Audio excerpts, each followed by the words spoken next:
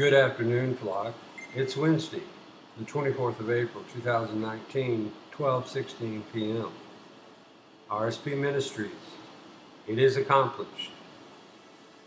The kingdom within is a pineal gland and the double helix DNA, the caduceus. The pineal is the progenitor for the activation of 97% of DNA that lies dormant. Junk DNA later PC'd the dormant DNA, but they actually did call it junk. Until men change, kingdoms will not change.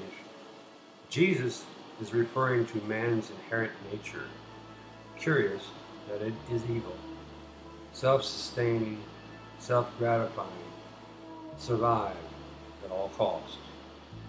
This is man's animal nature on this organic plane. Fear comes from not knowing anything. Does this suggest that at one point we did know everything? I suggest it does. And at least we were symbiotic with he that does. If it doesn't, then why do we feel a void? At least one bloodline does, and a fervent passion to find our Creator. This path, unless led by the Holy One, shall lead to much despair. Even when led by His Spirit, this world is not my kingdom, will become more and more apparent. This is why Father told us, I am taking my life's breath out of you after 120 years. Why? Same reason that Jesus told Nicodemus that you must be born again of water and spirit. That which is flesh is flesh, but that which is spirit is spirit. Unless you are born again of the Spirit, you cannot enter the kingdom. Why? Because the kingdom doesn't host organic. There's a new element in town, aether. And most were taught that we were banished from the garden. Nothing is further from the true truth. We were rescued from the garden. Here's why. After the enemy accomplished his task of getting us to eat of the tree of knowledge, that resulted in a host of maladies, 97% dormant DNA, see less than 1% of the color spectrum, dual brain hemispheres warring with each other 24 7, faith or fear. He was then off to unveil his master plan. Once we were governed. Magnetite clusters around your pineal gland, so you are cut off from the ether, not in tune with the uni one verse song out of tune with his one song, cut off from the vine, energy and frequency wise, by the placing of magnets around your DNA progenitor, the pineal gland, separating you from God, fall of man. But this was not the enemy's master plan just yet. To completely separate you from God, he would have to make you live forever.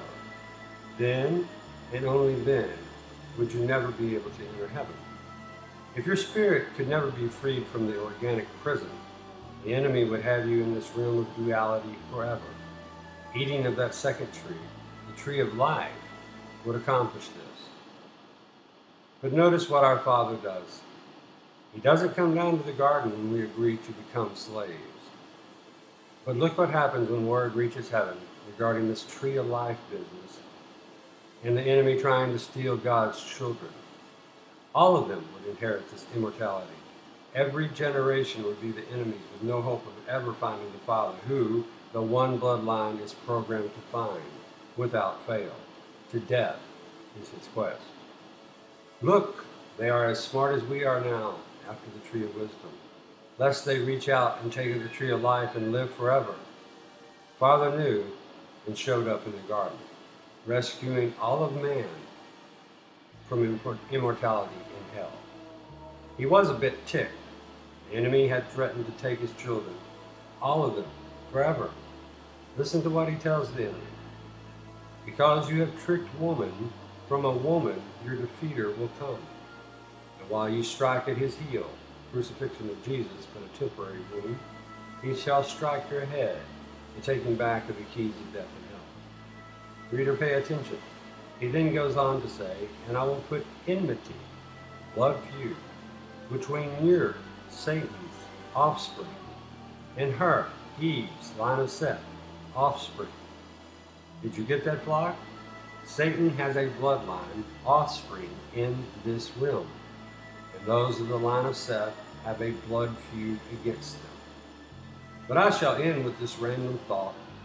If heaven comes down as written, then is it the believers who get taken away, or is it the other bloodline that gets sucked into infinity by the neutron star?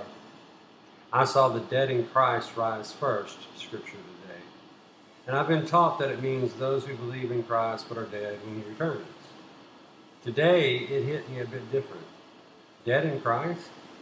Whether I'm living or not, I'd like to be thought of as alive in Christ, you know? Just perhaps on this bizarro timeline, it means the non believers. I mean, if the New Jerusalem comes down, there has to be a purification of the joint Yes?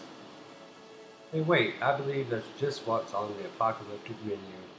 Day of purification coming up. Love God, love each other. Postscript. If you watch Chris Cornell's Black Hole Sun video, you will see the plastic people getting sucked up. It's quite awesome.